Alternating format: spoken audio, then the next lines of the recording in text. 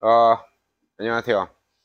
이거 그 드림 로스터라고 저번에 아마 제가 6개월 전인가 4개월 전인가 뭐 그때쯤에 한번 영상 한번 찍은 적이 있어요. 근데 그때 이제 평가해보고 리뷰를 올리겠다고 했는데 그 당시 거는 좀 문제가 많았고요. 어, 일단은 뭐 여러 가지 그러니까 몇 가지 문제가 있었는데 첫째는 그 인버터 부분의 소음 부분을 갖, 인버터를 갖다가 그 일본 거 어디 거에 썼는데 그거 매뉴얼을 구하기가 좀 어려워서 그거 설정 바꾸는데 좀 문제가 있었고 그러니까 좀 힘들었고 또 화력이 너무 딸렸어요. 화력이 너무 딸려 가지고 지금 지금 나오는 거지. 이게 한 1에서 한 2.5kg 들어갈 수 있음에도 불구하고 한 1에서 1.5도 제대로 안 뽑혔어요. 뭐 한 30분 막 이렇게까지 올라가더라고요.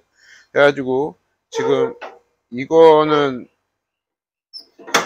그 부분은 이제 다 수정하고 들어온 모델인데 그 아직도 조금은 손을 봤으면 좋겠는데 그거는 지금 이거는 앞 버전이고 또 이 이후로 들어오는 건 또 손을 봐서 들어오더라고요. 그러니까 좋아지고 있는 거는 확실하고요. 계속 바뀌고 있고 계속 좋아지고 있어요. 그래서 단지 지금 아- 아마 이게 지금 베트남 로스팅인데 이 점점 이쪽 부분에서는 아마 얘네가 앞선 그러니까 좀 가성비 쪽으로 가격 가성비 쪽으로 보면은 얘네가 이제 압도적으로 우위를 차지하지 않을까 보고 있어요.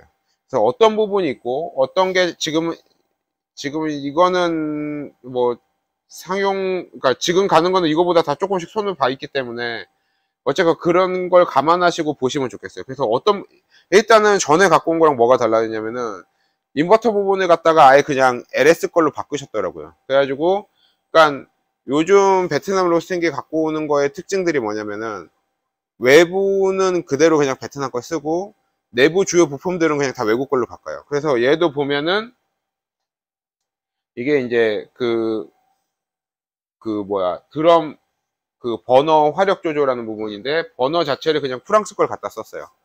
그래가지고 이전 모델은 좀 린나이 가스 버너 좀 소켓 소켓 버너 썼더니 너무 화력이 딸려서 아예 그냥 프랑스 거 갖다 썼고 뭐 이래 가지고 주요 부품들은 이제 외국 걸 다 갖다 써요.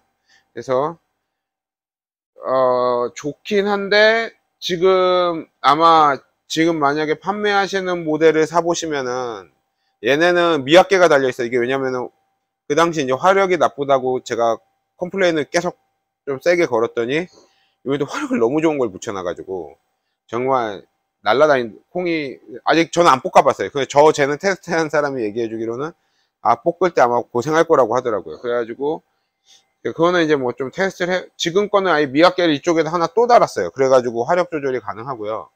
아니면은 지금 이게 6열 버너인데 아예 한 열을 꺼버릴까 생각하고 있어요. 5열 버너로 쓰는 거죠.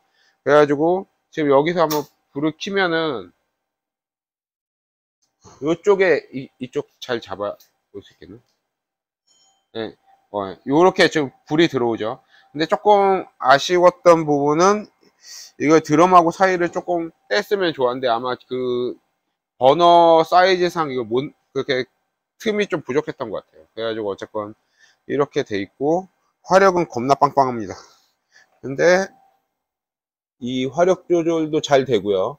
그래서 요거는 이제 몇 번 테스트를 해볼 건데 어, 뭐 어쨌건 이제 전체적인 부분은 마무리가 살짝 아쉬운 부분이 있지만 가격대가 이게 800만원 초반이기 800만원 800만 원대기 때문에 이 가격대 지금 2.5kg 그러니까 얘도 지금 보면은 화력이 세기 때문에 뭐가 아쉽냐면은 용량이 적은 거 뽑을 때 아쉬운 거지 2.5kg 풀배치로 돌리시면 큰 문제 없어요. 그래가지고 단지 이제 제가 지금 5kg 쓰고 있기 때문에 2.5kg 풀배치 돌릴 일이 많이 없기 때문에 그런 부분이 좀 아쉬운 것 같아요. 근데 어차피 저는 솔직히 좀 작은 용량의 기계를 찾고 있었기 때문에 그게 좀 아쉬운 거지. 그냥 쓰시는 데는 큰 문제 없을 것 같습니다.